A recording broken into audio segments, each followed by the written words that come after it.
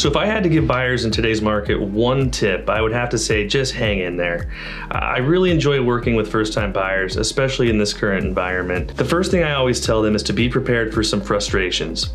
If the first offer you make gets accepted, then you are one of the very, very few, and then I would recommend going to buy a lottery ticket. It's an emotional process, and for many who are submitting offer after offer, it can become quite demoralizing to miss out on multiple occasions. I understand that.